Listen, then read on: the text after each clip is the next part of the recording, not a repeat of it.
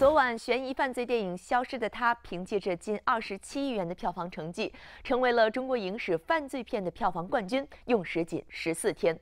该片监制、总编剧陈思诚商业嗅觉敏锐，由他主导创作的《唐人街探案》系列、《误杀》系列都在市场上获得极大的成功。近年来，陈思诚主导创作了六部悬疑电影，总票房已经接近一百四十亿元，平均每部票房超二十三亿元。差不多都看过，我觉得风格差距还是蛮大的。我觉得误杀好一点，这个看完感觉有点太沉重了吧。唐人探一还是最喜欢的，把肖央的演技开发到了极致。我特别想看《唐人街探案》第四部，也是比较期待悬疑加科幻的，很期待陈思诚导演更多的很好看的原创的电影。强类型、强情节、强视听是陈思诚的悬疑模式的典型特点，在话题、节奏、情绪上都有着精准拿捏。陈思诚的悬疑电影呢，它的硬伤还是比较少，观众在观影的过程中揭开悬念那个过程还是很爽的。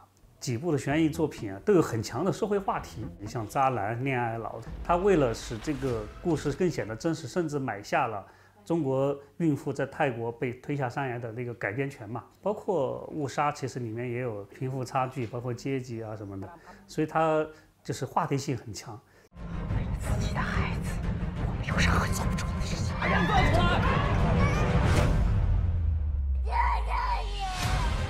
在创作团队搭建上，陈思诚可谓知人善任。他监制的电影大多启用充满朝气和锐气的新人导演。新人导演最大的优势就是，一方面是他们了解年轻观众的观影需求和审美的需求，对音乐、对色彩的使用比较敢大胆的创新，这是他的作品能够受到年轻观众喜欢的重要的原因。所谓“三人行必有我师”这事儿，他他他一定是有道理的。呃，刘翔是一个摄影出身的导演，他对影像还有他自己独特的见解。崔瑞他一直都在国外学电影，他对好莱坞那一套的东西也比较熟知。我希望能更多的跟优秀的电影人们合作。极具毒性和攻击性的东西，参与我们主人公的境遇和心理状态。而在演员选择上，陈思诚更是有着精准的眼光。他选演员还是选的比较准确的。很符合他这个影片的这个剧情和他的这个定位。你像《唐探》系列选的是王宝强和刘昊然，这两个男主角都形成了巨大的反差。而王宝强呢，也通过《唐探》系列成功的使自己成为一个喜剧演员，深入人心的嘛。啊，另外像《误杀》系列选了那个肖央，通过两部《误杀》，一下子让大家看到他演戏的这种潜能。朱一龙也是，啊，虽然去年的人生大事他已经体现出他很好的演技了。但这一次在《消失的他》里面，他的通过眼角的抽动啊，通过他前后形象的巨大的反差，塑造了这个人物还是非常好。到底想干什么？你没发现是你太太一直在保护你吗？不是。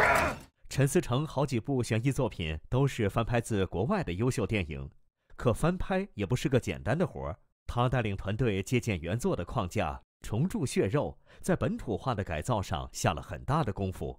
张警官。你是那种不管真相有多黑暗，你都会死死咬住凶手不放的好警察。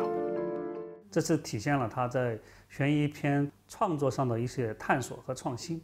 否则的话，你如果仅仅是拿了一个很老的一个本子就给他一照搬过来的话，其实观众不会喜欢的。当然，刚开始在他打造这个悬疑宇宙的过程中呢，有借鉴，有翻拍，这个其实都很正常。但是呢，如果确实如果一直是以翻拍为主，那么确实不利于他本人这一系列的成功的打造。我是希望陈思诚他们团队以后能够更多原创的优秀的悬疑类型片儿。专家建议以观众的需求作为出发点，加大剧本的原创力度，持续探索和创新，如此才能为悬疑宇宙输入源头活水，赢得市场和观众。迄今为止，我的毛孔都都是打开的，我还在学习。呃，我认为好奇心和学习能力是最重要充实自己的。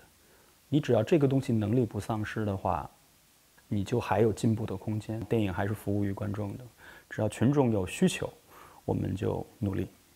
The future.